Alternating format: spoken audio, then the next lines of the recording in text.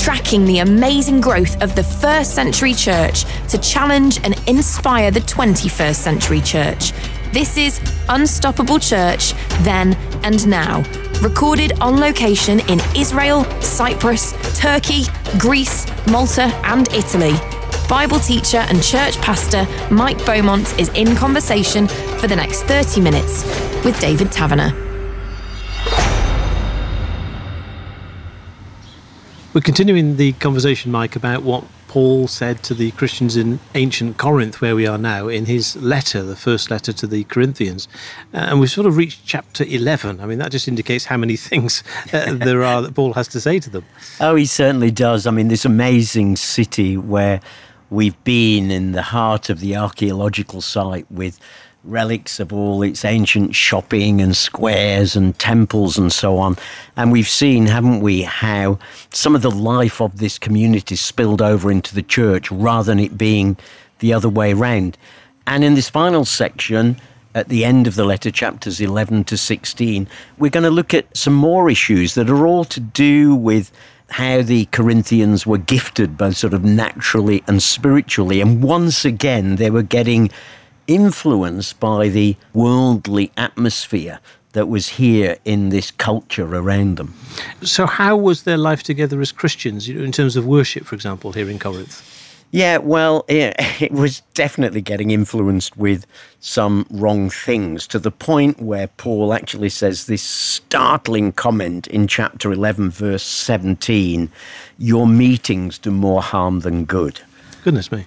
Yeah, that's exactly what I think when I read that. Your meetings do more harm than good. I mean, can you imagine Jesus coming into some of our churches today and saying, Stop this, stop this, your meetings are doing more harm than good? Now, once again, this was something that he'd heard about. He starts by saying, in the first place, I hear that when you come together as a church, there are divisions. And one of the places those divisions were being shown was at the very place where unity was supposed to be demonstrated. And that was at the Lord's Supper. And rather than this being a demonstration of unity of the body of Christ, it was really showing fragmentation. Now, remember that in the New Testament church, the Lord's Supper, communion, Eucharist, whatever you call it today, uh, was held in the context of a meal. So it was actually part of a meal. But what was happening was that the rich in the church were turning up early for the meeting, bringing all the food and sharing it all together. And of course, the slaves in the church, and there would have been many, because a significant proportion of the city were slaves. So the slaves were turning up late, you know, after they'd finished serving their masters and, you know, cleaned up for them and sorted them out, rushed to the meeting to find that all the food had gone. And so Paul has to say to them in chapter 11, you know, I don't know what it is that you're sharing, but it is not the Lord's Supper that you're eating. So they've been doing more harm than good in the way they're sharing the Lord's Supper. I mean, that is devastating. But the other big area that he's now going to spend three chapters on is that their meetings are doing more harm than good in the way that they use what he calls spiritual gifts, gifts that the Holy Spirit gives to us as Christians that were supposed to be used for building up the body of Christ, for impacting the world, and instead they were being used in a selfish manner and a superior manner. So these are not sort of natural gifts uh, that each of us have to do certain things well. Well, do you know what? They sort of overlap, to be honest. And as we will read the list in a minute, there's undoubtedly some things that you could say, well, that is completely sort of supernatural, if I can use that word. Uh, whereas some others might be a mix of the two things like wisdom. You know, there are a lot of wise people out in the world. So they overlap. And in, in some ways, I don't like to distinguish between the two because it puts them in category. Oh, these are spiritual gifts. So these are, you know, these are the real Holy Spirit things. Uh, but being able to keep the books balanced, you know, is only half spiritual. And I think, you know, there's a whole number of places where Paul talks about spiritual gifts. He talks about them in Romans 12, in 1 Corinthians 12, and Ephesians 4. And in those lists, um, actually, some of the gifts overlap.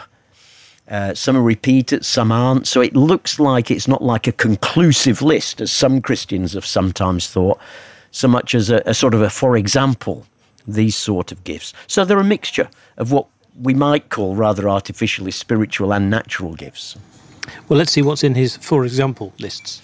Well, okay, why don't we read the beginning of chapter 12? Now, we've already uh, mentioned in a previous episode about how we'll go on to talk about the body and how all these gifts should be used together for the good of the body. But let's read the context of that, chapter 12, verses 1 to 11. He says, Now, about spiritual gifts, brothers, uh, I don't want you to be ignorant. You know that when you were pagans, somehow or other you were influenced and led astray to mute idols. Therefore, I tell you that no one who is speaking by the Spirit of God says, Jesus be cursed. And no one can say Jesus is Lord except by the Holy Spirit. Now, I just have to stop there for a minute because that sounds a bit weird, doesn't it? That he has to tell them that no one speaking by the Spirit of God can say Jesus be cursed. So, what's going on here? It looks like some of the Corinthians were getting so overexcited about the Holy Spirit and his gifts that they weren't really concerned with the content of what they shared. What mattered to them was the show and the razzmatazz of what they shared. So, you know, perhaps imagine this person sort of, I don't know, shaking and trembling or wherever, feeling the Holy Spirit's coming among them. People are looking, and all of a sudden he says, Jesus be cursed. You think, sorry, it's the content that matters, no matter how much you might shout, shake, rattle, and roll. It's the content that matters. By the way, that is still true for every gift.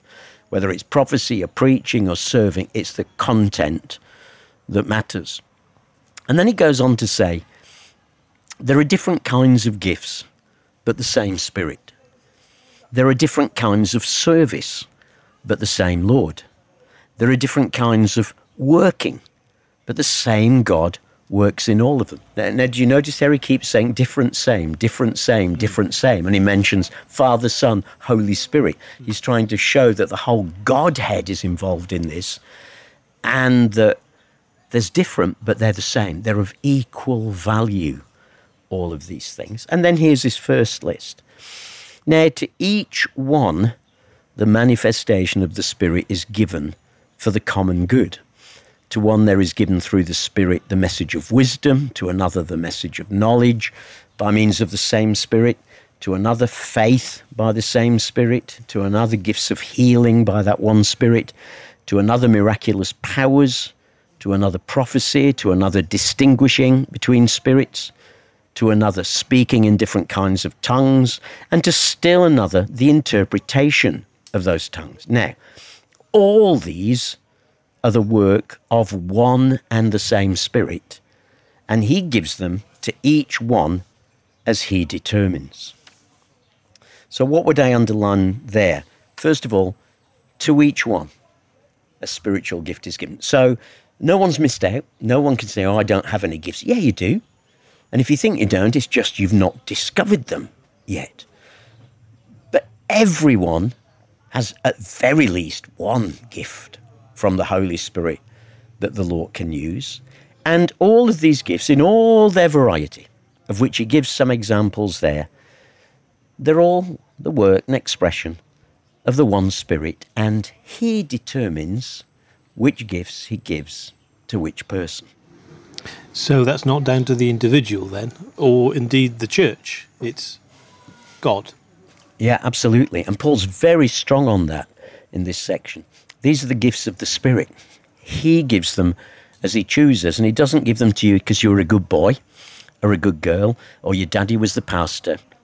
He gives them freely as He chooses to every member of the body because He's passionate about the whole body being equipped to do this work together. And these gifts are they are they free?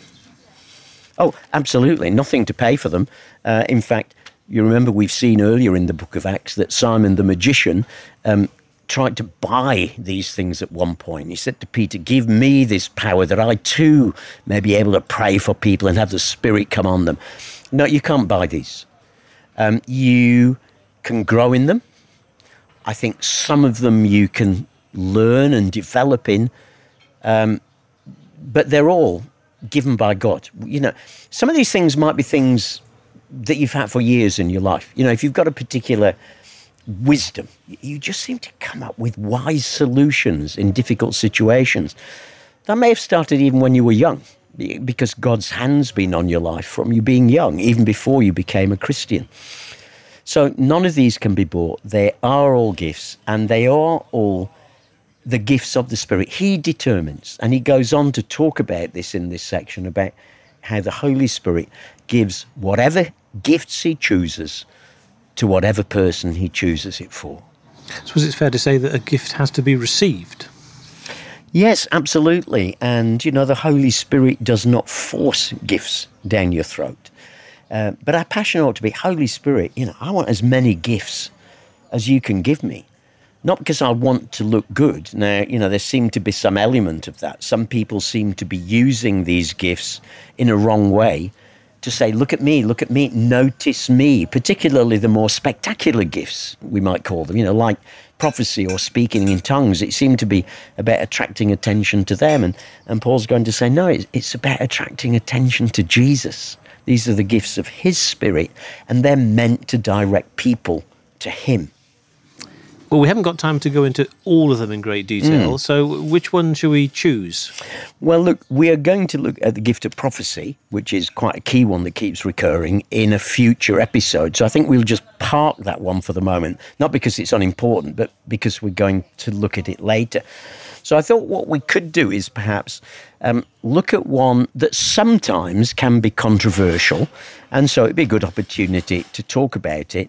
Um, we touched a little bit on this when we looked at the day of Pentecost, but why don't we look uh, for a few minutes at this gift of tongues, this gift of speaking in tongues? And what does that mean, speaking in tongues?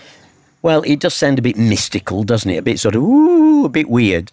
Um, but remember, the Greek word for tongues simply means languages. It's the ordinary, everyday for languages. So on the day of Pentecost, the Spirit fell on all those Christians who were there, and they all began to speak in other tongues, began to speak in other languages that were understood by the crowds that gathered. The only difference is they hadn't learnt those languages.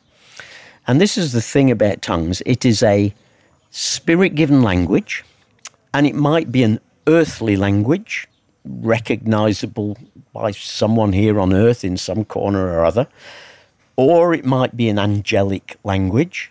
Paul talks in 1 Corinthians 13, uh, verse 1, where he says, Even though I speak in the tongues of men and of angels, so it looks like there's both human and angelic. So we may understand some if we understood that language, but there'll be others that we don't. So this is a language, but it's simply a language that you haven't learnt, like, you know, learning French or German or something that many of us would have done at school. You're a language person yourself. You, you learned yeah. some of those languages, didn't you? Yeah, I did, you know.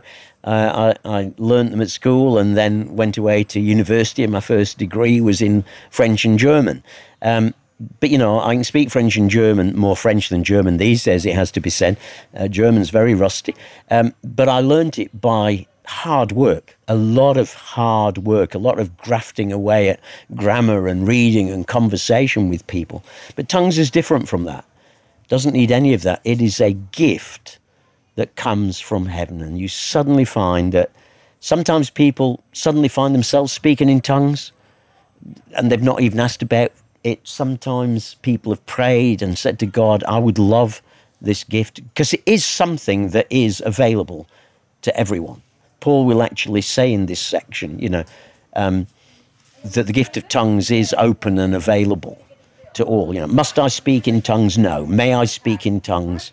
Oh, yes. So for some people, it will be as they call out to God and say, God, I would love to be released. And perhaps just as you're worshipping God, praying out loud with your English words, or maybe singing for some people sometimes, and you suddenly find some different words coming and starting to flow and grow. Um, and it's not gibberish, it's not made up. I have to say, the first time I ever experienced that gift, everything in you either wants to think, I'm making this up, or for me, because of my languages background, I thought, oh, I'm sure that's Latin that I learned at school, and it's just my schoolboy Latin coming back. Uh, but of course, it wasn't. So um, it's a gift, and it's a gift available to, you know, whoever wants to receive it, but not something that God's going to ram down your throat so you don't have to be frightened of it. Don't have to be frightened of any gift of the Holy Spirit. And what is the point of it? Well, uh, yeah, people often ask that, don't they? Well, I, I always describe it like this look, at its most fundamental, uh, speaking in tongues is a prayer language. So that's how I often describe it. It's a prayer language, it's something directed towards God. Paul will say in 1 Corinthians 14:2, anyone who speaks in a tongue does not speak to people but to God. Um, doesn't speak to people. That is, it's not prophecy. Prophecy is from God to people. Tongues is from people to God. It's back in the other direction. So it is not an equivalent of prophecy. Though over the years I've heard people, you know, speak in a tongue and it be interpreted, and someone said, "Thus says the Lord." I'm not sure that's really what it's meant to be from the scriptures. It's a prayer language directed towards God, and as a prayer language, uh, it can be used for worship, like it was in Acts chapter 2, verse 11, where the crowd say, you know, we can hear them speaking in our own languages, and they're all extolling the mighty works of God. So that was praise. Um, it can be used for intercession. Paul hints at that in Romans 8 26 and Ephesians 6 18, where he talks about the Spirit sort of groaning within us, and something that might be a reference to this. So, worship, intercession, actually ensure anywhere where ordinary language is used, but you run out of words, you don't know how to pray. Now, there are so many times in life for myself, my family, the church that I'm part of, friends, I, I don't know how to pray. They're in a situation, I, I don't know what to do here, Lord, but I do know someone who does know, and that's the Holy Spirit. And so, at points like that, to be able to pray in this prayer language, uh, Paul describes it at that point, he says, as your mind then sort of just being bypassed and your spirit speaking out instead. So it's the Holy Spirit connecting with your spirit to pray out this language. And you may not understand it. For myself, I often have a sense of what it's about, you know, not like a word for word translation, but I can tell if it's like a calling out to God, crying out to Him in intercession. I can tell if it's because I'm mad with the devil and, you know, and I want to rebuke something. So it, it's, it's an incredible gift. Sadly, in church history, and sadly here in Corinth, it's been made as a badge of superiority at times. So Paul nails that one in the bud straight away which is why this gift gets listed with a whole host of other gifts. Uh, you know, it's not the first one, it's not the last one, it's one of a whole number of gifts. But the Corinthians were so caught up in this and thought that it was, you know, because they could speak in tongues or because they could stand up in a meeting and suddenly pray out in a tongue, everyone would think, oh, David is so spiritual, listen to him. That gets Paul really mad because it's not about that. It's not about us. It's about Jesus. Everything in worship ought to be about Jesus. You know, the Lord's Supper there wasn't about Jesus. These speaking in tongues weren't about Jesus. Even some of their prophecies were more about them than Jesus, it seems. But for me, the fascinating thing with all of this is that Paul doesn't tell them to stop it. Now, just stop. That's enough. What he does is he corrects them. It's as if they got the right thing, but were using it wrong.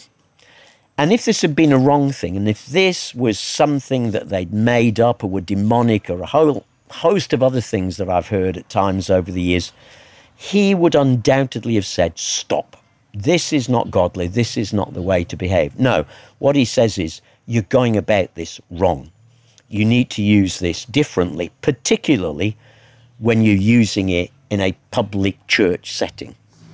I've got to ask you, can you be a Christian and not speak in tongues? Uh, yes, I'm convinced you can.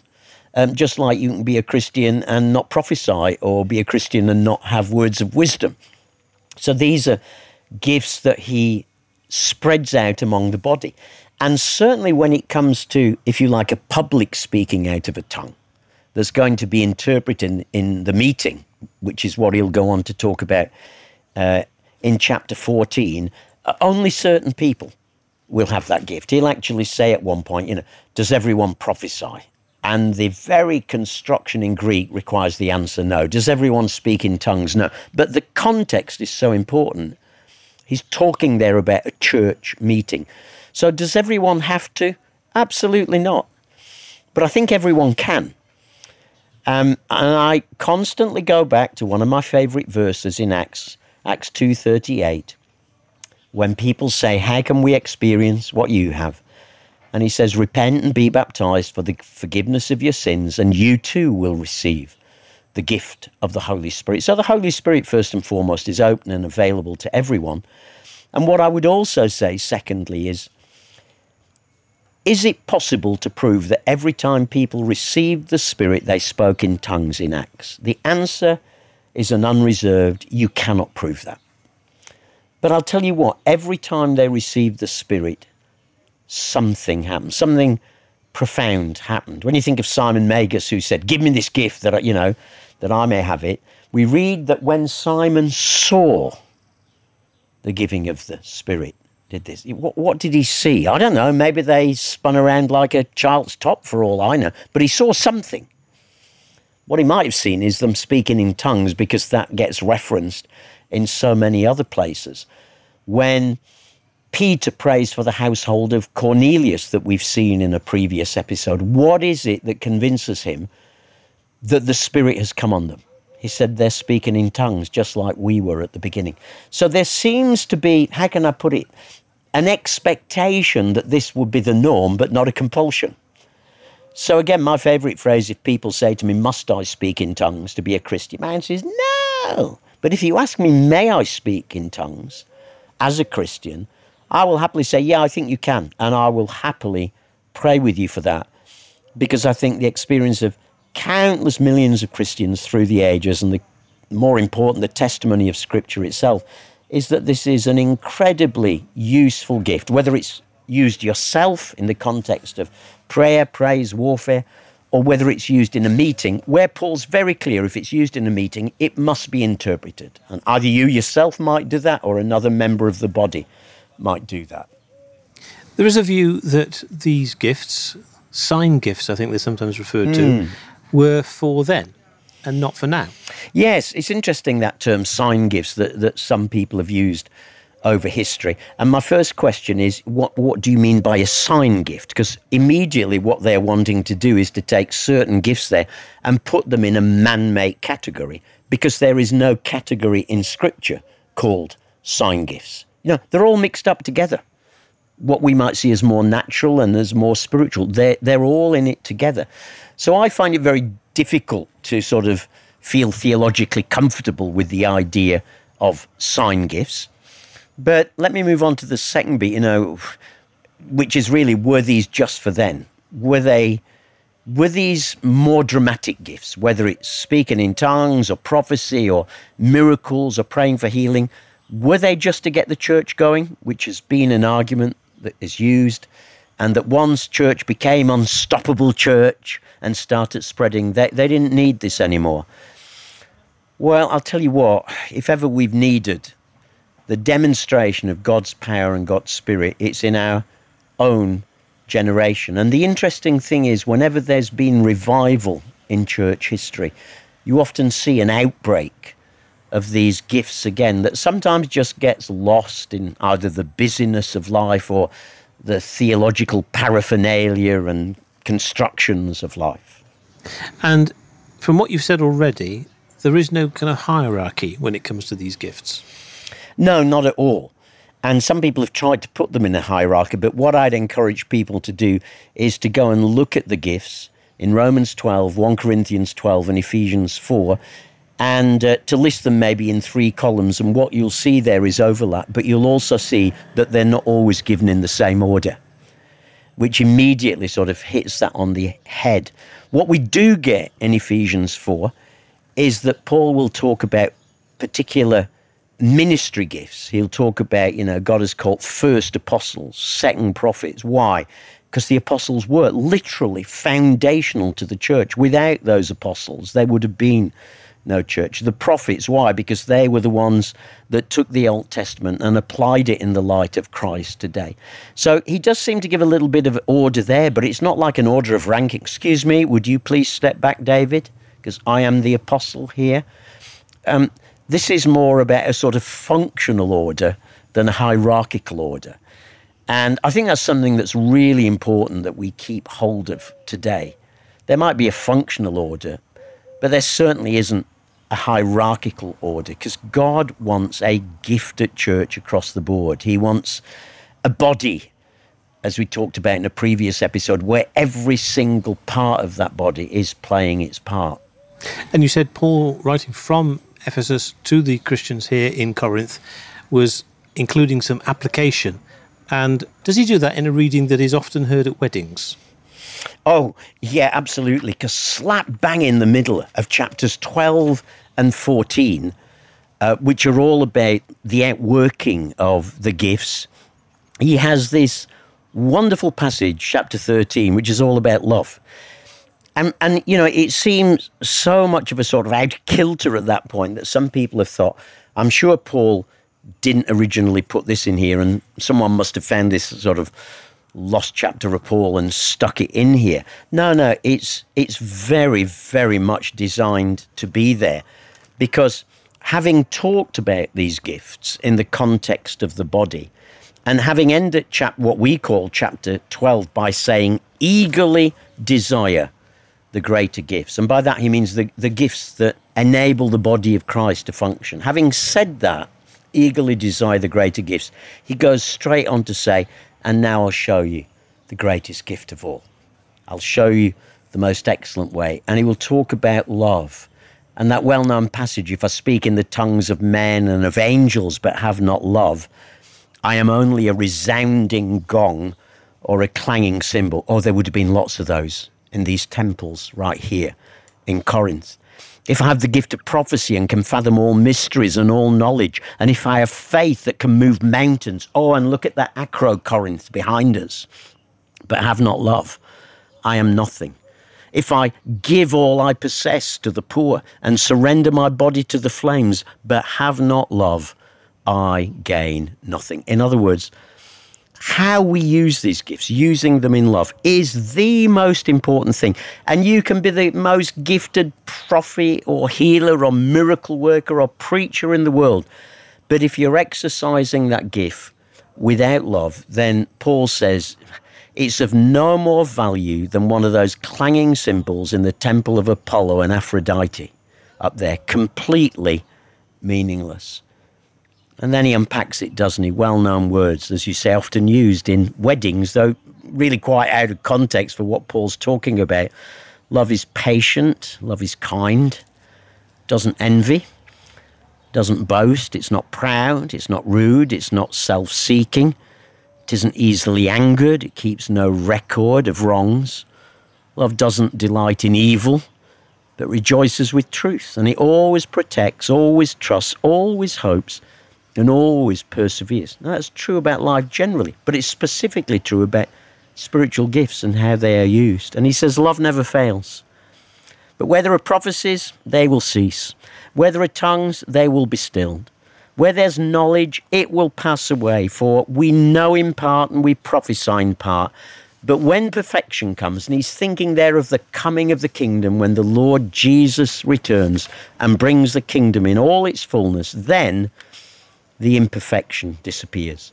We won't need tongues, we won't need prophecies, we won't need words of knowledge and wisdom when Jesus is in our midst and the throne of God is in our midst.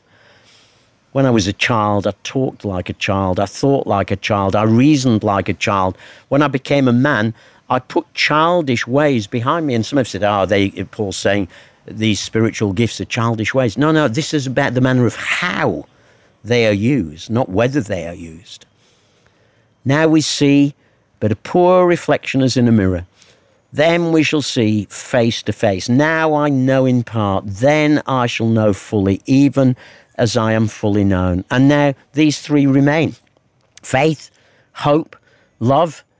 But the greatest of these is love. And if we think that clinches it and overrules anything about any need for spiritual gifts, well, let me read the next verse, which is separated into a different chapter but carries on in the Greek text. Follow the way of love and earnestly desire spiritual gifts. It's not an either or, it's meant to be a both and. The Church of Jesus Christ is meant to be the most gifted group of people on earth with natural talents heightened by the Holy Spirit and dedicated wholly to Jesus, but also with spiritual gifts dropped out of heaven by the Holy Spirit and released to us not for our sake, not to make me look good, but to make Jesus look good and to work together towards this end of seeing unstoppable church.